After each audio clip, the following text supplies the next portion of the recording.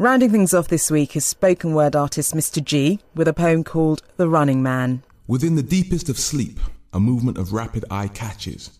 A man running a long distant heat, strangely representing Atlantis.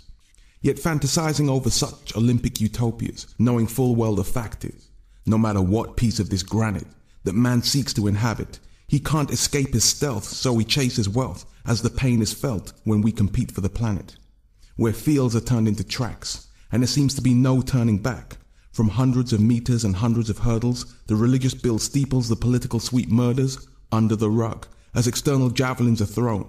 Alas, there's no shot put to put off a tragic shot to your dome, leaving no room to discuss or hurl a disgust in disgust at the gust of atrocities that will never be shown. So run, my friend, run. It's time to move on. Make the whole world see. Run to tantalize the audience's eyes with your incredible speed run faster than our path of incredible greed, plant an indelible seed, make us inevitably see that it's unacceptable belief for one man to run around the planet while another will never be free.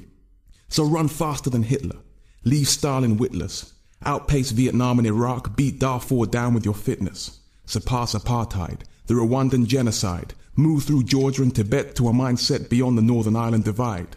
Theirs is the sport of lies, a podium to despise, that the more a man gets, the more six fingered his hand gets, the more twisted his plan gets with missile ships and jets. So run, Forrest, run. Escape what we've become, and with the rise of the morning sun, show the world a true Olympian.